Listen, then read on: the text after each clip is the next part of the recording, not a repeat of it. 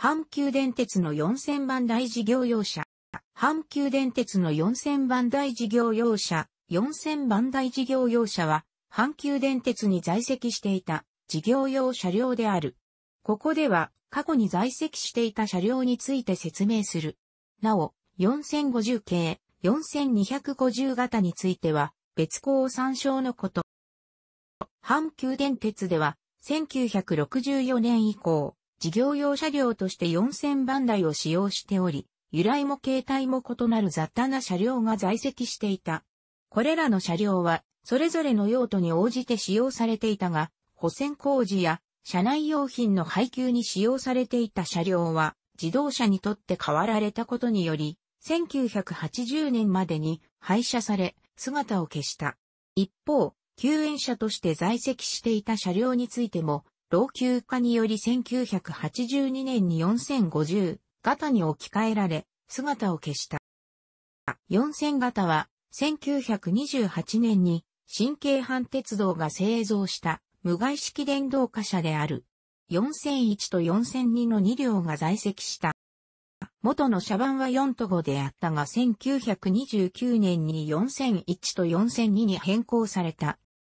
両者ともに保線工事などに使用されていたが、4001は主に長物の資材を運ぶため、1949年に車体中央部にクレーンを設置するとともに運転台が狭められる改造を受け、さらに1957年には向かって左側に乗務員室を拡張している。一方、4002は原型のまま改造されなかった。晩年まで、小弱車こと桂車庫間の資材輸送用として使用されており、本線で見かけることも多かったが、1974年に4002が、1979年に4001が廃車されて姿を消した。4100型は、1924年に新京阪鉄道が製造した無害式の貨車である。20両が製造され、当初は1000型と称した。主に千里線沿線の土砂を輸送するために使用されていたが、1015が、市議駒電鉄に貸し出されたまま復帰せず、19両となった。戦後は、西宮車庫などにも配置され、控室を取り付けられるなどして、引き続き工事用車として使用されたが、1971年に車席を抹消され、工事用機械扱いとなった。1949年に4100型に改版されている。4200型は、神戸線、宝塚線所属の電動貨車の総称である。車体形状は様々であったが、昇圧工事の際に電気機器や台車を統一しており、同一性能である。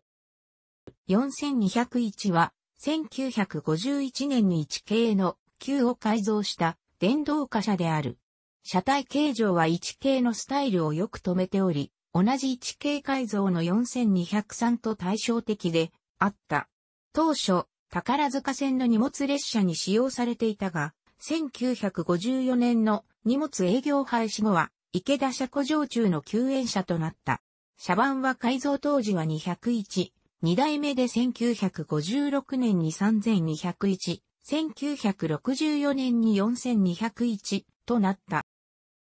1969年の宝塚線昇圧の際に、昇圧対象から外され、救援車の役割を4208に譲って廃車となった。4200には、レールや電柱などの長物を輸送するために、仙台200に下記参照の機器を流用して1927年に製造された電動貨車である。車体両端に組まれた櫓の上に小さな運転台が置かれるという異様なスタイル。しかも側面は扉などはなく吹きさらしであったが、後に改造されたものの前から見ると非常に狭い運転台で、あ、居住性は良くなかったという。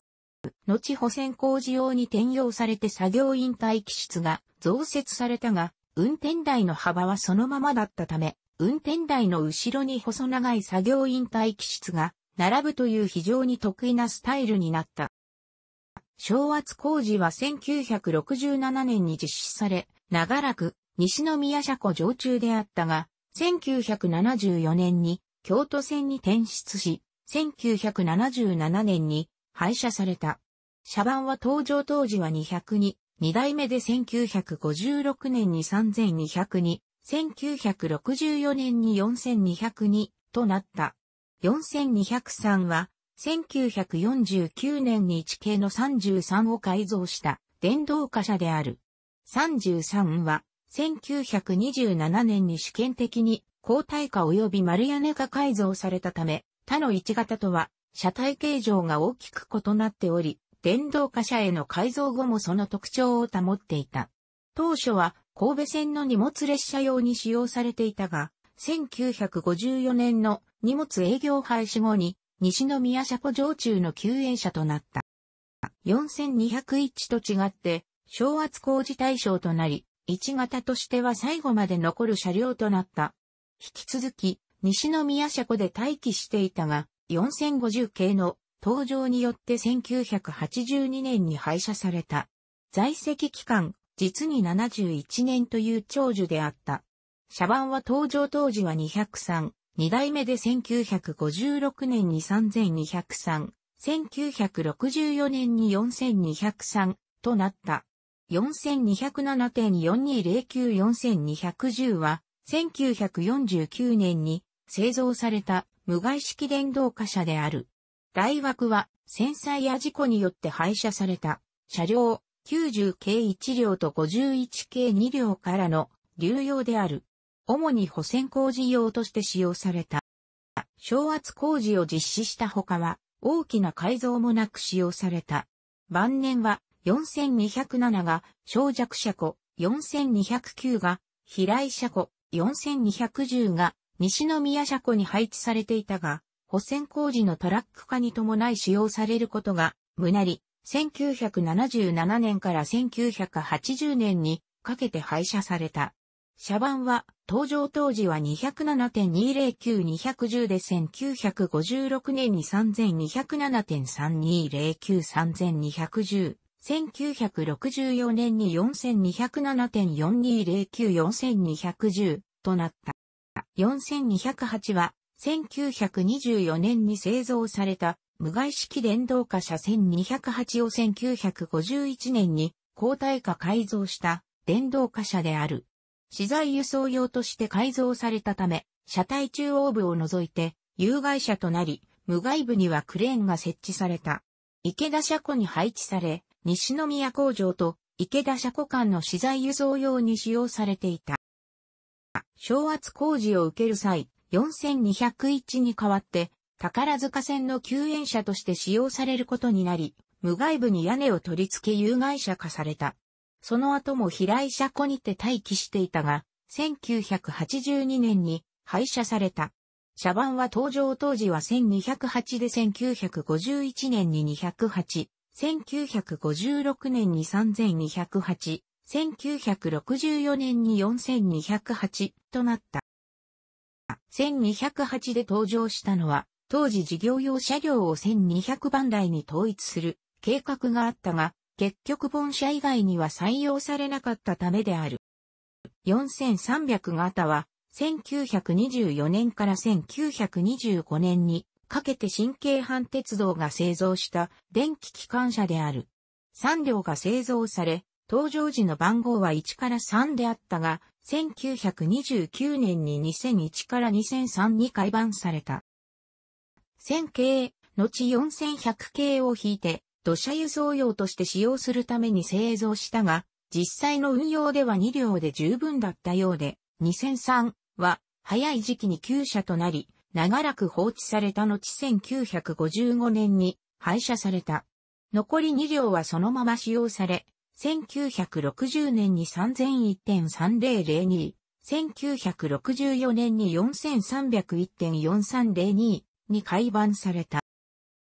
長らく、小弱工場の入れ替え用として使用されていたが、1975年に車席を抹消され工場の機械扱いとなった。その後4302が解体、4301も1986年に解体され、姿を消した。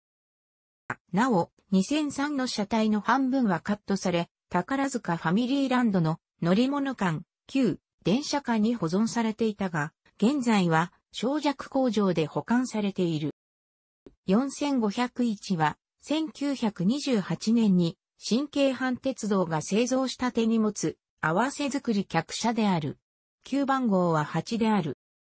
車体中央部に荷物室を設け、荷物室の外側には、生鮮食料品の輸送を考慮して鎧と式の通風口を設けていた。荷物室の両側には、客室があり、主に早朝に市場に仕入れに出かける客向けに使用れていた。戦後は救援車に転用され、小弱車庫に配置されていたが、特に大きな改造もなく、原型を止めていた。4050型によって置き換えられ、1982年に廃車された。1929年に5001、1964年に4501となった。登場時車両カラーはグリーンだったが、1950年にグレー、1955年にブラックへ変更された。1964年以降は4000番台に統一されたが、それ以前に運用されていた事業用車について記載する。かつて事業用車両は宝塚線、神戸線は100番台、200番台を使用していた。1956年から1964年までは3000番台を使用している。京都線で使用された事業用車両は旅客用と車両番号が被っている。101は、美濃割間電気軌道が1911年に投入した無害電動化車である。固定四輪車台車で 37kW のモーターを1台装備し、ブレーキは手動ブレーキで車体中央にポールスタンドがあり2本のポールを取り付けてあった。終電装置は1927年にポールから棒コレクターに変更され、1947年に廃車された。102は、美濃割間電気軌道が1911年に投入した無害電動化車である。固定四輪車台車であるが101と異なり、空気ブレーキを装備し、ポールスタンドは車両両端にあり、ポール先頭が車体中央を向いていい。1927年にモーターを外しド運車となった。1947年に廃車された。103と104と105は、美濃割間電気軌道が1914年に投入した有害電動化車である。103は1927年にモーターを外し、無害のド運車に改造されており、この時に余剰となった部品は107へ活用されていい。1947年に廃車された。104と105は1931年に運転台を撤去し、無動力、無番の救援車となった。1940年に廃車された。106は1920年に関東の成田電気より譲渡された電車4両のうち1両の台車と電気部品を流用し、車体を新造して投入した無害電動化車である。池田車庫と西宮工場の部品輸送に使用されたが1947年に廃車された。107は1920年に製造された無害電動化車である。1927年に103の部品を活用し、有害電動化車に改造され、1947年に廃車された。200は1947年に、京阪線から移籍した有害電動化車で、京阪100型電車の138を1930年に有害電動化車化したもの。1950年に宝塚線で火災事故に愛車体を反証、1952年に廃車された。201と202は1916年に半壊電気より譲渡された無害電動化車である。車体中央に門系のポール取り付け台を備えていたが201は1927年にポールからパンタグラフに変更され、ポール取り付け台と一方の運転台の間に橋を架けるようにパンタ取り付け台が設置された。202は1927年に廃車されたが、車体を新生式機を流用した2代目の202、後の4202が製造された。201は1949年に205、2代目に当たるへ改版され1952年に廃車された。203と204と205は1917年に半回電気より譲渡された有害電動貨車である。203は通風口が設けられていた。1940年に車体改造を行い柱が外にあるスタイルへ変更され204が神戸線の救援車、205が宝塚線の救援車となった。203は1945年に戦災で廃車、205は1949年に廃車され、204は1954年に廃車された。206は1920年に製造された神戸専用の有害電動貨車である。51型と同じ台車とモーターを使用していた。